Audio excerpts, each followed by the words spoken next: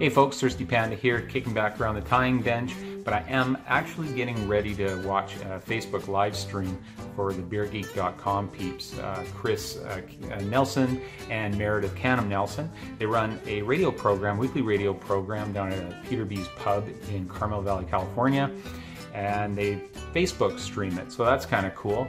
And they check out beer and what have you, and they're the, the ultimate beer geek people. I mean, these people are the ultimate. They've been to, I think, over a thousand breweries. It's, it's crazy.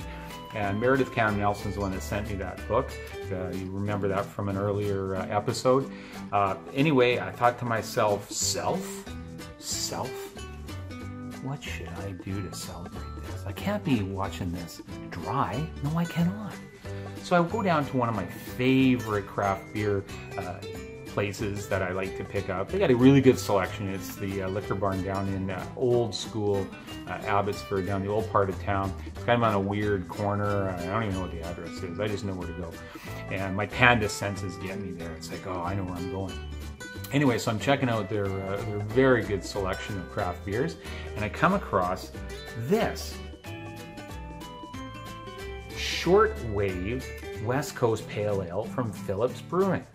Shortwave radio program, duh. It's like, hey, this was meant to be. So I'm going to check this out and enjoy it and check out their Facebook uh, live stream. So anyway, a little bit about the Phillips uh, uh, people. Uh, they started their, their brewery a few years ago over in uh, Victoria on the other side of the pond. And they've been brewing up some really cool brews. Um, their electric uh, Electric Unicorn White IPA. Very good. I'm going to be doing a review on that one. Stay tuned and check that out. But today we're going to be doing their shortwave West Coast Pale Ale. So with any pale ale, it's probably going to be in that mid-range in the hops, probably around the 40 IBU, uh, maybe a little bit less. Uh, it's going to be a, a, little bit malty and uh, should be a good beverage for uh, just kicking back and checking out a radio program. So let's crack this open.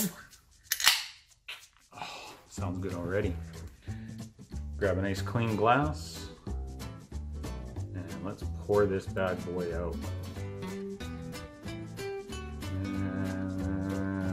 we're doing the whole can today. Gotta get it all. Gotta get it all. Wow, we lost focus. There she is. It's got uh, it's got some floaties in there. Nice. I don't know if you can, I don't think you can see the floaties, but uh, there's lots of floaties going on in there. Yeah, it's like that uh, orangey amber color. It's got a nice head on there. Oh yeah, yeah, that smells really nice.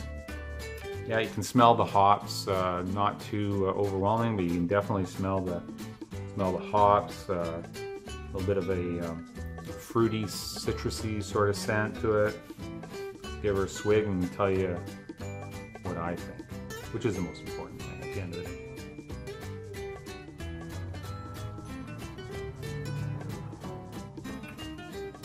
Yeah, that's a nice pale ale. Um, like I was thinking it was going to be, it was mid-range on the hops. Uh, would have liked a little bit more of, uh, a little bit more sweetness uh, to it maybe, a little maltier, but it's a little lighter on the malt. You're picking up more of the hop than you are of the malt, that's for sure.